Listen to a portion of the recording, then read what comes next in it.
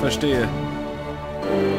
Hör mal, David, kannst du mir sagen, wo ich den Keller der Bibliothek finde? Was wollen Sie denn im Keller? Ein paar Sachen erledigen. Die Treppe runter, die zweite Tür rechts, dann wieder links und dann den Gang entlang. Vielen Dank. Alleine hätte ich das nicht gefunden. Jetzt weiß ich, wohin die Treppe verläuft.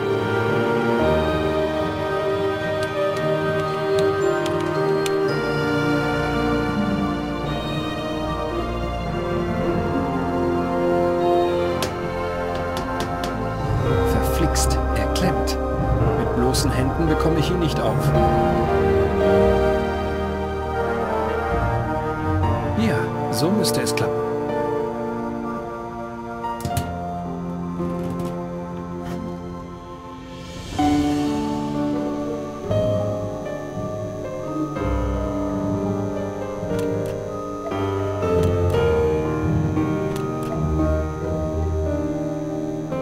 Mrs. Leroy verlässt ihren Platz.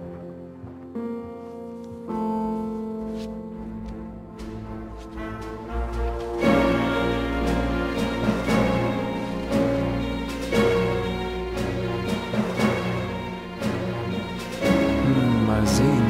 Hier ist die Kundenkartei. Marworth, Manish, McKinsey. Aha, da ist es. McLean. 3435 Rangers Field. Irgendwie habe ich kein gutes Gefühl bei dieser Sache.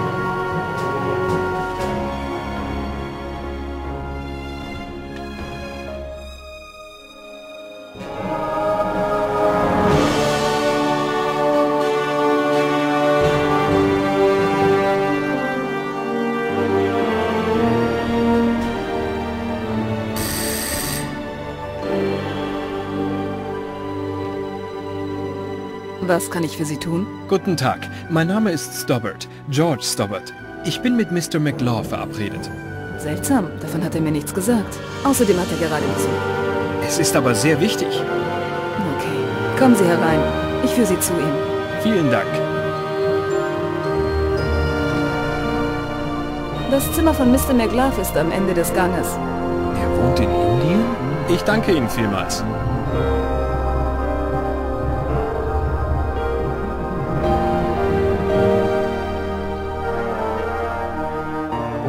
Siegel haben wir keine Chance.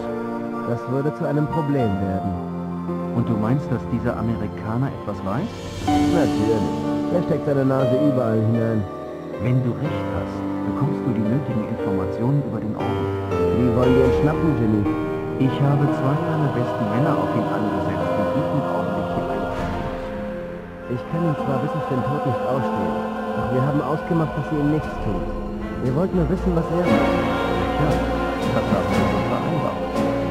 Ich muss mal auf die Toilette. Wo ist die? Am Ende des Ganges. George! André, du hinterhältiger Verräter! Es ist nicht so, wie du denkst.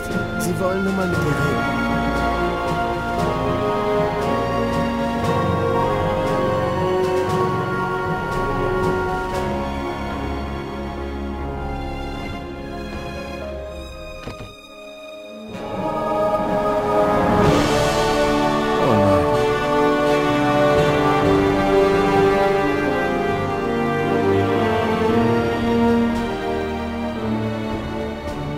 Stobbart, wir werden nachher mit Ihnen reden. Währenddessen können Sie sich mit Ihrem Zimmergenossen bekannt machen. Wenn Sie sich nicht schon kennen.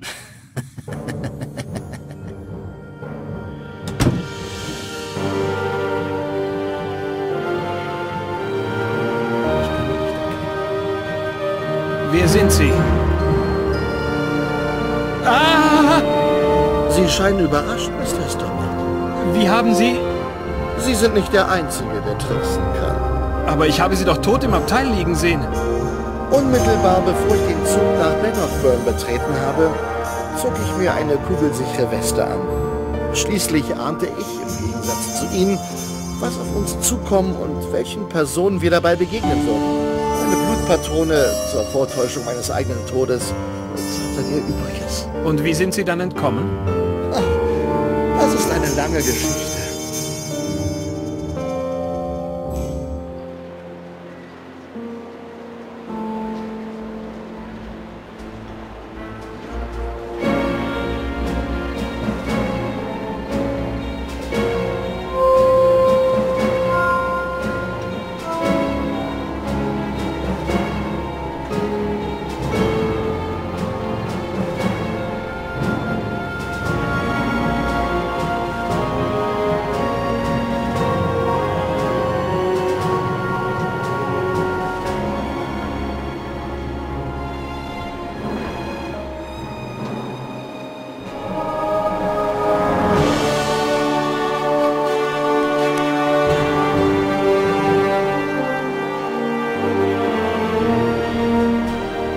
Jimmy McLaw? Mit wem habe ich das Vergnügen zu sprechen? Ich heiße Nicole Collard. Ich bin Reporterin beim französischen Fernsehsender Kanal 1. Wir haben uns gedacht, dass wir über Sie ein großes Porträt mit anschließendem Interview machen.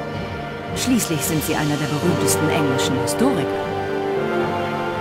Das klingt zwar relativ verlockend, doch ich werde Ihnen wohl eine Absage erteilen. Das wäre wirklich schade. Wir sind einer der erfolgreichsten Sender in Europa.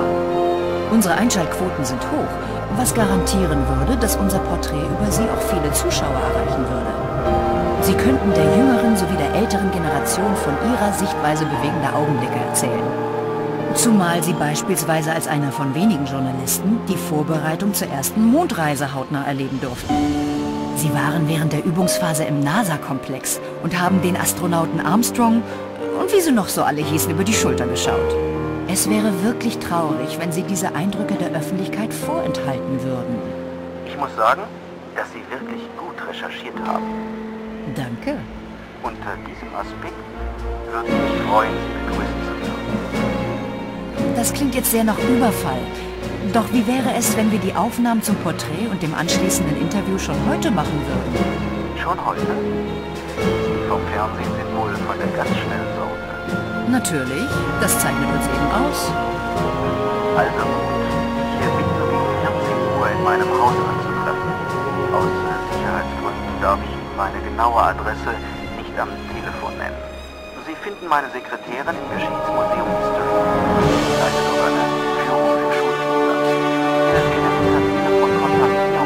Weiß, dass sie kommt. Es tut mir wahnsinnig leid, dass ich diese Umstände bereiten muss, doch es geht nicht anders. In der Vergangenheit wurden einige Attentate auf mich verübt. Es scheint wohl so, als hätte ich nicht nur Freunde. Ich werde bis 14 Uhr auf Sie warten. Das ist in etwa 20 Minuten.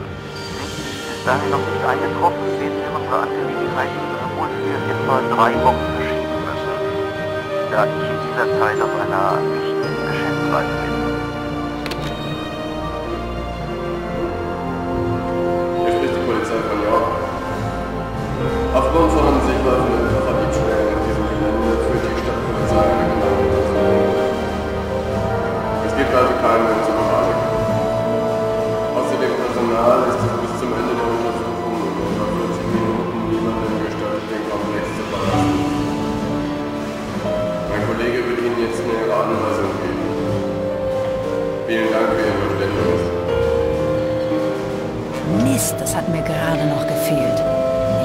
20 Minuten bei Mr. McLaw sein.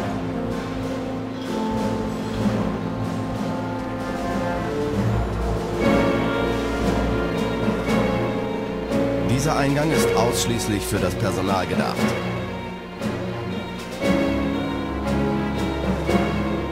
Dieser Eingang ist ausschließlich für das Personal gedacht.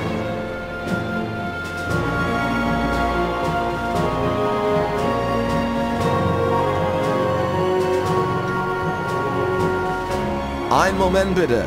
Nur Angestellte dürfen den Komplex verlassen. Sehe ich nicht aus wie eine Angestellte? Naja, bis eigentlich weniger.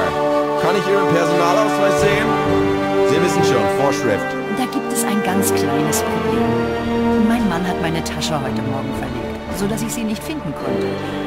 Und nun bin ich ausweislos, sozusagen. Das tut mir ehrlich leid. Doch ohne Ausweis kann ich nichts für Sie tun. Okay, ich verstehe.